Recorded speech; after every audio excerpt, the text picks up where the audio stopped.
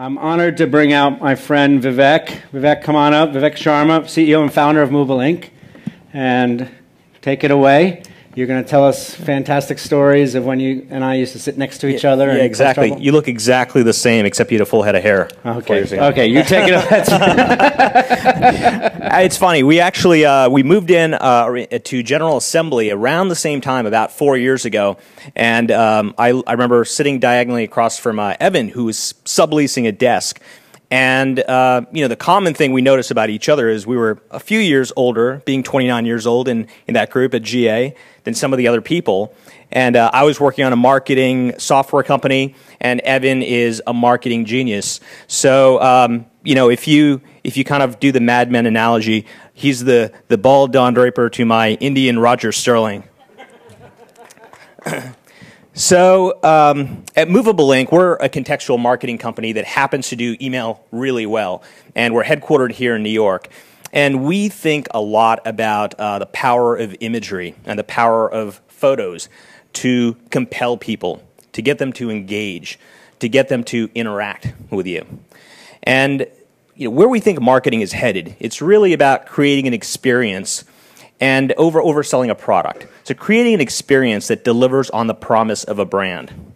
And so I want to talk a little bit more about how uh, we see imagery and photography changing and being used in more creative ways inside marketing. So let me start with a, with a survey right here. This is a campaign that Allen Edmonds, a clothing retailer, ran recently, and there were two different types of creative that they wanted to test out. Uh, creative A, that you see on your left side, uh, is a nice fabric background, some interesting copy, and creative B is has a few more product shots and a different type of imagery. And so, how many of you think creative A performed better?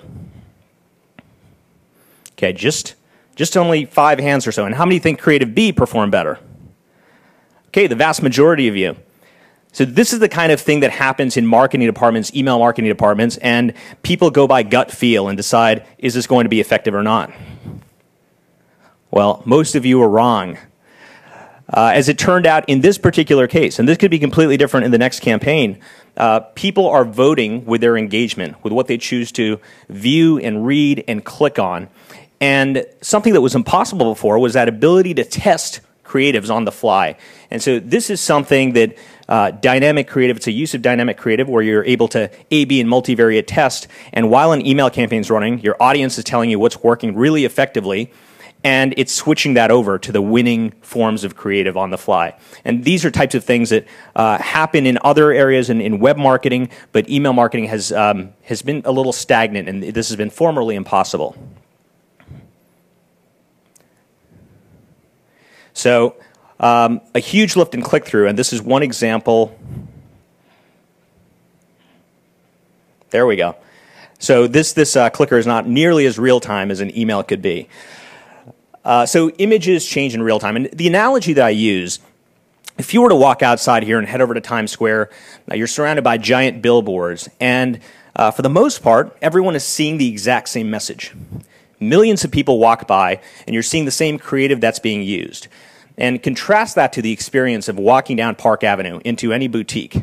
And the second you walk in, somebody notices you, uh, they see you're a little harried in the middle of the day. You might be in there buying something for your uh, boyfriend or girlfriend. Uh, they're kind of sizing you up and figuring out how much you're likely to spend, what kinds of products you're interested in, peppering you with a few questions back and forth. And so that's a very different experience. That's an opportunity where a real person is sitting across and sensing and responding to your context and understanding that and tailoring the message to you. Uh, unfortunately, that's very one to one, and it's been impossible to do that at a massive scale, especially when uh, creative bottlenecks exist. And we know imagery works in marketing. Uh, over and over, the statistics prove that even including an image in search results gets people to engage. It, it builds a trust. It gives people a sense of uh, what they are buying. And especially if you're a consumer brand, if you sell any sort of physical product, if there's a fit and finish and feel to it, today the best way to communicate that is through imagery.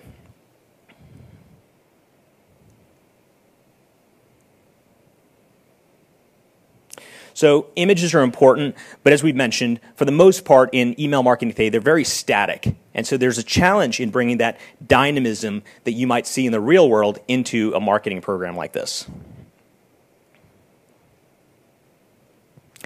And so your context is changing. Uh, you might be very similar to me. Uh, when I get up in the morning, one of the first things I'm checking is my email. I have my iPhone. I'm running into work. Uh, I, am at my desktop during lunch. Uh, some of you may be scrambling to get into that flash sale in time, and you've got a big giant screen where you're making your purchases. And then in the evening, you're back at home and you're reclining on your sofa on your tablet. So this is a new world. Um, and actually, the next step of that world, I'm wearing an Apple Watch um, hey, there's another way to reach me. And so um, consumers are choosing how and when they choose to engage with you. And this is really difficult. If you thought things were tough 15 years ago, keeping up with the vast number of devices and social channels and uh, different channels that your customers engage is incredibly difficult. And that adds a creative burden to any team that is thinking about marketing content and copy and photography and that sort of thing but it's imperative to think about some of these. And I want to share just three ideas today that you could use to tailor an experience, create a very contextual experience based on some cues your customers are telling you the moment they choose to engage. Let's think about the weather. Uh, we actually have a giant chalkboard drawing of this cartoon uh, right now. Spring just started, so every season we're kind of changing that up on our blackboard. But um, you know, the weather changes so quickly and especially retailers have to think about this. And unfortunately, there's a huge amount of information to crunch and to decide and to figure out how to tailor offers uh, depending on the weather in your area. So here's one example. Uh, we work with Airbnb, and it's possible you've seen some of these emails and are completely unaware that the imagery and the creative and the copy are being tailored for you based upon the weather outside. In this case, it was very important to them uh, for their customers who happen to be in very cold weather areas. Uh, if you live in New York or Massachusetts or anywhere in the Northeast this winter, um, you know you were right in the bucket, right in the segment that that these Airbnb marketers were looking for. And it would detect at the moment you open that email campaign that it happens to be snowing outside or it happens to be 15 degrees outside, and it would give you a very sunny destination that you could think about and houses you could rent. And you'd get a totally different um, message and creative if you happen to be down in Florida or in California. Similarly, this can be done in retail. So, Allen Edmonds again, uh, most of their customers are in the Northeast and in the Midwest where it's very cold. But again, the types of offers they'd put in front of you would vary significantly based on the weather outside. So, in this case, a, a very simple weather targeting rule. If it's above 41 degrees, we want to show you rain gear and umbrellas. And if it happens to be colder than that, uh, let's show you something that is uh, uh, that keeps you nice and bundled up, and uh, you might actually get bundled up and get outside the house. And so the winter boots, you know, winterizing your wardrobe and thinking about those types of things. And this was something that was um, formerly very difficult, and in some cases impossible, because even if Allen Edmonds had someone on their email list, uh, perhaps they'd never purchased from them before. And so you don't even know where that person lives necessarily. And so there's these, this vast amount of data, of these real time signals that it's impossible for you to even collect, possibly even have, and to be able to tailor against in real time. So thinking about the changing creative and the changing nature of your customer. Let's jump into device. So when I sit at my desk at work, I've got five computers right around me. I have my desktop, I have my tablet, I have my iPhone, my Apple Watch. Uh, there's probably someone's old laptop sitting in the corner. And so it is very hard to guess at where someone is likely to be and how they choose to engage with you. And you have to be very responsive to your customers wherever they are.